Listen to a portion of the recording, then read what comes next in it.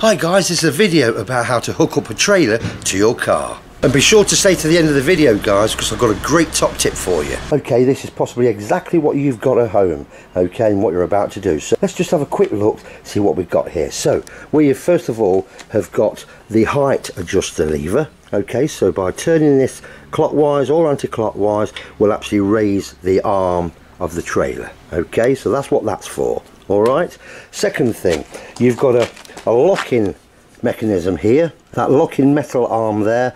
Now if I was to unscrew that this this shaft okay the holding the actual front wheel um, will actually go up and down okay?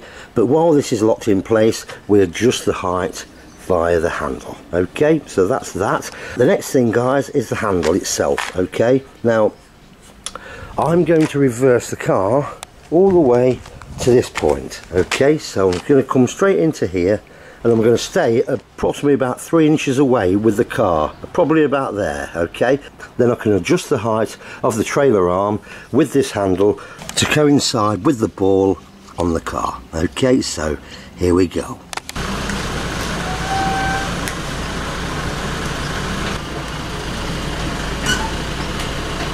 Okay guys, now I've got two options. Can either reverse the car another three inches right underneath the hood, okay, that's there, or I can move my forward and onto the hood. But one top tip guys, don't forget to move the blocks.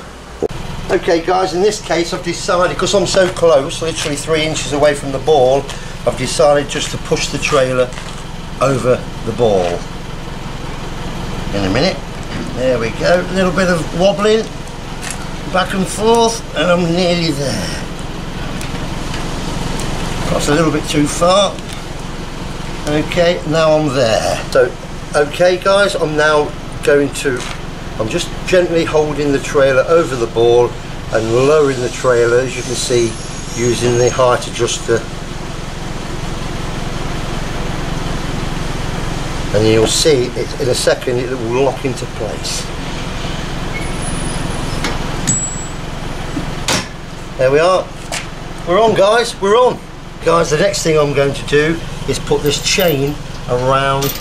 There we go guys, there's the uh, bracket there holding that chain into place.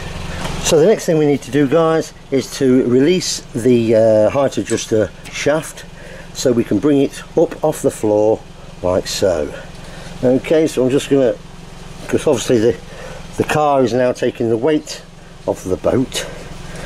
So I'm just undoing this now and that will you'll see that this is nice and loose now. Okay. Okay guys the uh, height adjuster shaft is now loose so I'm going to lift that up and I'm going to tuck the wheel alongside the trailer arm and then tighten up this lever to lock it into place so it's not going to come down while you're driving around okay so that's that.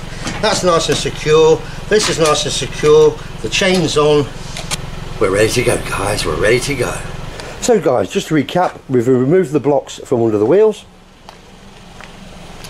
We've secured the uh, arm of the trailer onto the ball of the car.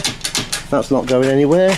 We've done a secondary support of having the chain onto the arm of the uh, car okay.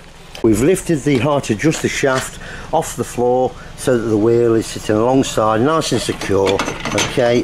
That's not going to go anywhere. Okay. Onto the side of the trailer arm and we're pretty good to go guys.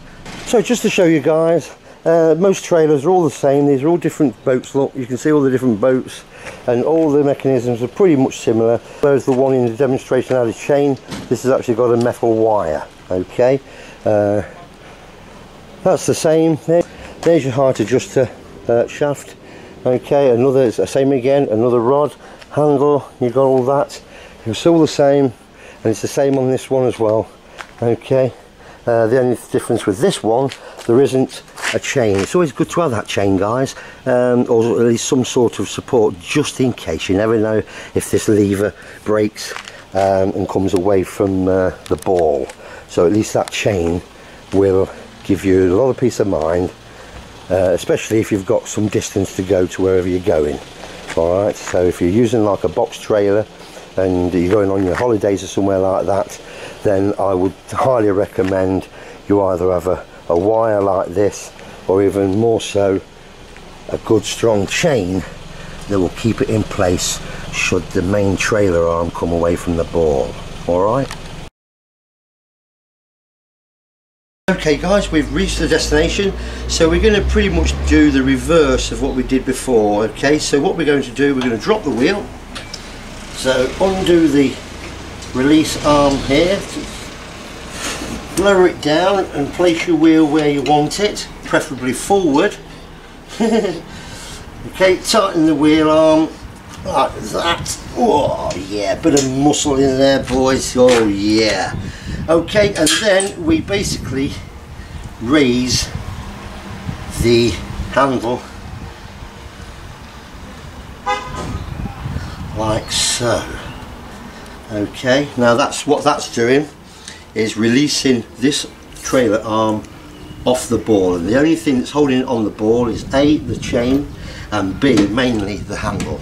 On here that is a trigger, okay, so I'm going to place my hand on the handle and my thumb and I'm going to depress the trigger, okay, so here we go. There, there we go. Okay, and you can see the chain that's secure around the ball. Pull it to one side, put your chocks in place or your blocks for your wheels and drive away. Okay guys, I did promise you a top tip didn't I? I'm not only just going to give you one top tip, I'm going to give you two and they're well worth knowing as well. First top tip is one of these. It's basically a towing ball protector.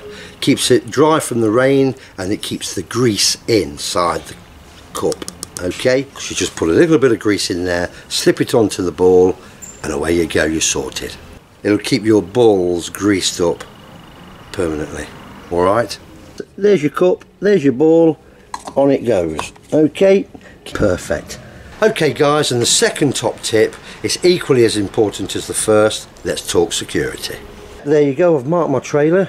Uh, you probably noticed it at the beginning of the video, but uh, it just sort of acts as a deterrent really. I mean, if there's a trailer that's not been marked up, and there's a trailer that's been marked up, which one would you steal? Uh, if any, any, at all obviously but so it just shows any potential thieves that you've gone to the trouble of painting your trailer and you, are fully aware that there are thieves about so that's my uh, second top tip guys so just a quick video guys and I just hope that that's uh, been of help to you. Uh, thanks for watching Boating for Beginners and we'll see you around sometime soon. Rock and roll.